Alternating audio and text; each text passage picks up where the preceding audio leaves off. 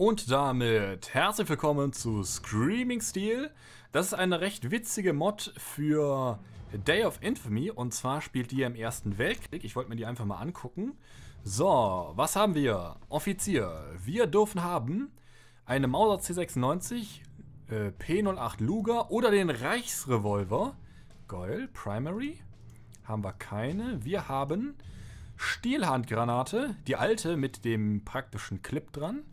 Nadelhandbombe, ein Fernglas, leichte Ausrüstung oder schwere Ausrüstung. Geil, dann haben wir einen Knappsack. Oh, der geht immer. Oh, geil. Und ein Butcher Blade oder Feldspaten. Feldspaten kostet 1. Was haben wir denn? Fernmelder, Gewehr 98 mit Bajonett, Ladestreifen, Trench Magazine, Alternate Sights.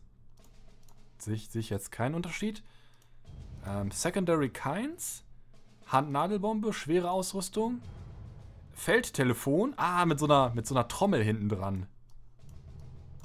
Witzig. Schütze. Ja, ist aber späte deutsche Kaiserliche Armee. Auch nur Gewehr 98, Ladestreifen, Bajonett, Stielhandgranate. Nutzen, nichts. Feldausrüstung, Knife. Oh, der MG-Schütze nimmt einfach mal ein ganzes MG 0815 mit oder kann Matzen bekommen. Geil. Luger, Reichsrevolver. Ich glaube, mein Setup sieht jetzt erstmal so aus. Okay, Heckenschütze. Ach, ach, der kann dieses komische Visier bekommen. Das war was total Witziges. Das war so ein Visier, das war mega weit weg. Das konnte in das lange Visier eingeklemmt werden. Das war so was ganz komisches. Also eine ganz komische Einrichtung. Hat sich auch nicht wirklich durchgesetzt. Okay, Sturmmann. Lange Pistole 08. Oh, schade. Ich hatte jetzt gehofft, dass jemand vielleicht einen Karabiner 98 AZ dabei hätte. Drum Magazine. Ja, ohne Drum Magazine macht das ja auch, ergibt das ja auch keinen Sinn. Explosives, geballte Ladung, Stielhandgranate. Und Stahl, ach, Stahlrohrführer. Das ist ein Flammen, das ist ein altes Wort für Flammenwerfer. Ich finde aber, ich glaube, wir gehen erstmal normal ran. Ich würde sagen, einfach nur ganz normal Schütze. So, was nehmen wir denn? Ladestreifen sind praktisch. Sights machen wir. Ich möchte mal wissen, wo der Unterschied ist. Ähm. Oh, die Diskusgranate. Genau, diese kleinen Schildkröten. Nutzen. Leichtausrüstung. Bayonet. Ja, passt, passt. Ich würde mal sagen, erstmal ein ganz normales Gewehr. Schöne Gewehr 98 hier. Spiel startet in Kürze. Angeblich ist es mit Bots. Das Ganze ist auch total komisch. Und zwar, ich kann nicht einfach irgendwie den Mod insta...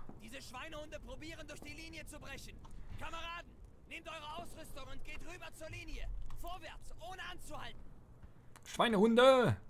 Das ist doch total komisch, wie man das zum Laufen bringt. Und zwar muss man erst den Mod installieren. Dann startet aber ganz normales Day of Infamy. Und dann muss man einen Server aussuchen, wo die Mod läuft. Und man kann das nicht selber, man kann nicht einfach selber entscheiden, dass man das spielen möchte. Man darf das nur auf Servern spielen, wo die Mod läuft. Das ist total komisch. So, 100 Meter. Ah, genau, ich habe dieses Kackvisier. Mal gucken, ob ich damit auch so zielen muss, wie man damit das damals musste. Ne, das ist einer von unseren, der hat auch eine Pickelhaube. So. Nur noch 80 Meters. So, wo sind denn die? Muss ich das jetzt einnehmen? Wie ist denn das? Ist das jetzt so Battlefield-mäßig oder ist das schon verteidigt? Nö, das hier sieht alles ganz... Okay, jetzt geht's los. So, wo ist meine, wo ist meine Schildkrötengranate? Ich werfe eine Granate! Ne, es ist einer von mir. Sehr gut. Das nicht, oder? Okay, das Gewehr 98 wird relativ schnell fertig geladen. Okay, ich höre Flammenwerfer. Ich werde das hier alles tapfer halten. Oh, ich hatte nur eine von diesen Schildkrötengranaten. Nicht gut. Ah, ich verkrieche mich in meinem Hochbett.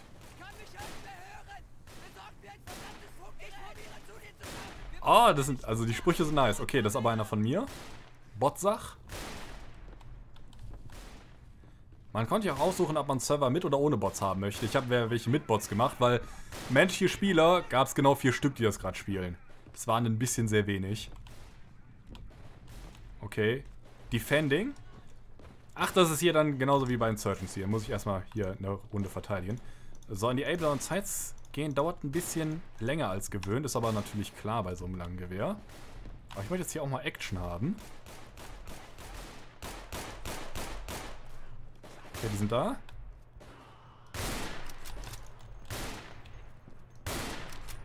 Ich glaube, ich habe aber was getroffen. Oh, okay. Das bedeutet wohl, die Iron Sights funktionieren optimal und nicht realistisch. Die Iron Sights damals, die waren ja so. Die haben ja, also die Deutschen hatten erstmal äh, Rundgeschosse. Also, naja, Ogivalgeschosse heißen die eigentlich. Ah, jetzt muss ich nachladen. Die hatten ja erstmal Rundgeschosse. Und das lange Visier, was da drauf war, das war für die Rundgeschosse optimiert. Das ging bei 200 Meter los. Das war auch überhaupt kein großes Problem. Allerdings haben die Deutschen dann von Rundgeschossen auf Spitzgeschosse umgeschaltet, also umgerüstet. Und dann haben die das lange Visier umgestellt und dann war auf einmal die erste Entfernung auf dem lange Visier 400 Meter. Und das war relativ suboptimal für den Nahkampf. Man musste halt den Gegnern auf die Füße zielen, wenn man die im Nahkampf äh, in der Brust treffen wollte. Und das war sehr, sehr gewöhnungsbedürftig, sagen wir das mal so. Und genau deswegen war auch, waren auch die frühen äh, Karabiner des 98er Systems, wie der Karabiner 98A, also großer, und Karabiner 98AZ, bei den Truppen sehr viel beliebter, weil da endlich mal ein anständiges Visier dabei war. Obwohl, ich bin mir gerade gar nicht sicher, wer was hatte. Es kann sein, dass der Karabiner 98 Groß A noch äh, eine Version des Lange Visiers hat. Ich glaube, es gab eine Kurzversion vom Lange Visier. Übrigens heißt das Lange Visier nicht Lange Visier, weil es lang ist, sondern weil es vom Herrn Lange entwickelt wurde. So, gucken wir mal hier, pushen wir mal ein bisschen. Okay, da ist gerade Artillerie oder sowas unterwegs. Wäre es natürlich richtig krass, wenn es auch sowas geben würde wie Gas. Ist das von uns? Kann ich eigentlich Waffen aufheben vor den Gegnern? Oder irgendwas? F? Ja, kann ich sogar. Oh, dann habe ich jetzt hier einfach mal ein Enfield. Das müsste eines der älteren Enfields sein. Das hat auch ein besseres Visier. Oh, und ein Bajonett. Wie mache ich das dann? F oder? Wo greife ich dann mit Bajonettangriff an? Aber ich habe Insurgency typisch. Uh, wie nennt sich das? Bekommen, wenn ich eine gegnerische Waffe hole, keine Magazine mit ausgegeben. Und da hinten war irgendwas.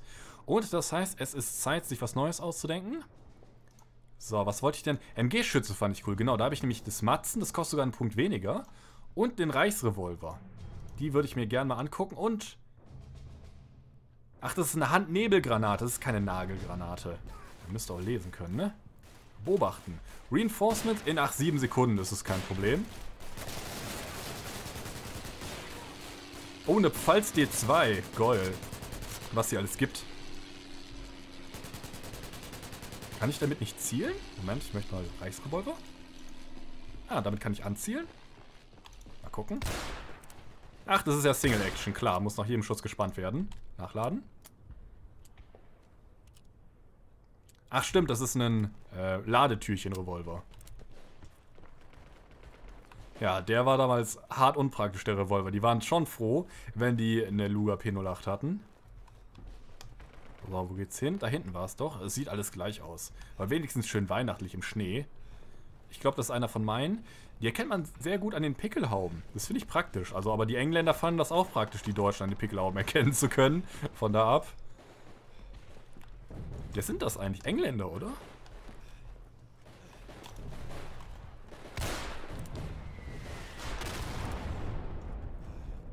Konstatiere, der Reichsrevolver ist scheiße unpraktisch. Und ja, so wurden damals viele Revolver nachgeladen.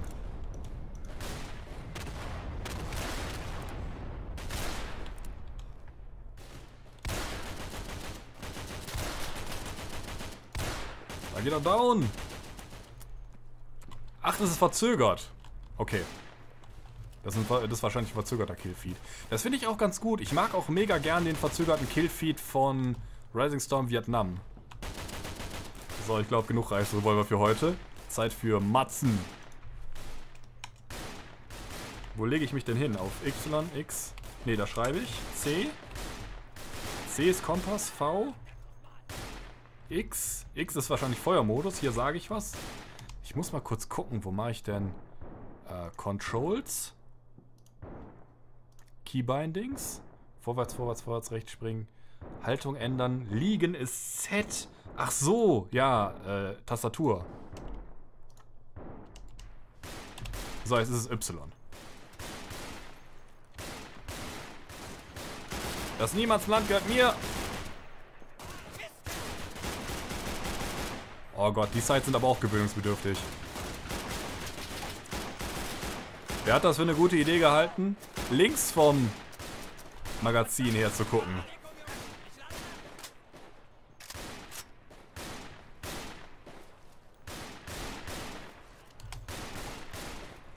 Vorrücken. Und im richtigen Moment hinlegen. Da sind zwei.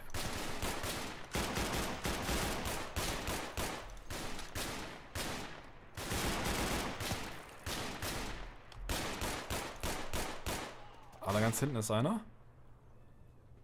Ich muss mal so ein bisschen... Ich gucke am besten immer oben mit der oberen Bildschirmecke, wie wir das letztens Tarkov gelernt haben.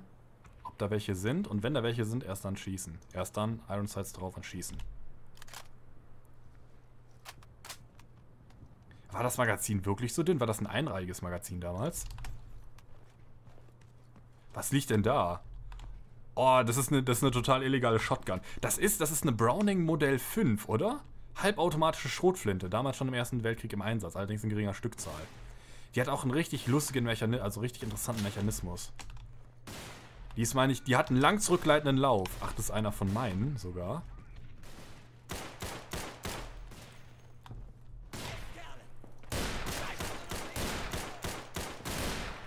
Er hat aber nicht sehr viel Reichweite. Oder ich habe einfach scheiße getroffen. Wie viel Schuss sind da drin? Fünf, oder? Ich habe dreimal geschossen. Mit Glück sind da jetzt noch zwei Schuss drin. Aber wir capturen das gerade. Ist das Munition? Aber ich glaube, Ge aus gegnerischen Munitionstöpfen darf ich nichts nehmen, soweit ich das noch weiß. Okay, da, da ist Wechselman. Ich habe ja, hab ja zur Not noch den coolen Reichsrevolver.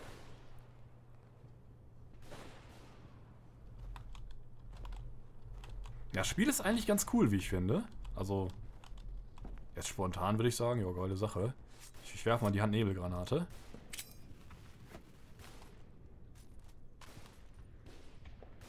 Ja, fast.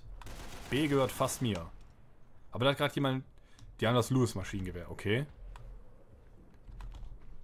Dann haben die Deutschen wahrscheinlich auch das Matzen eher aus Balancing-Gründen. Die hatten damit davon nämlich gar nicht mal so viele. So, dann wird hier weiter gestürmt mit meinen glücklicherweise, also im glücklichsten Fall habe ich noch zwei Schrotpatronen. Im allerglücklichsten Fall. Funk, Funk. Genau, hier gibt es mal Ziel, hier gibt es nicht nur Flaggenpunkte, einfach so wie bei Battlefield, sondern man muss immer was machen an manchen Stellen. Da habe ich das schon. Was muss ich da machen? Muss ich es einfach kaputt machen oder muss ich mich da vorstellen? F drücken, E drücken. Ja, meine Schrotflinte ist schon leer. Gut, dass ich das so rausgefunden habe. Wellen. Keine Wellen mehr übrig. Nur vier Minuten irgendwas. Ausschalten. Oh, das war sogar richtig. Ich habe das Ziel zerstört. Sehr cool. So, und dann würde ich sagen, dann war es das für dieses Video. Dann könnt ihr jetzt hier meinen Kanal abonnieren. Weitere Videos zum Spiel folgen garantiert.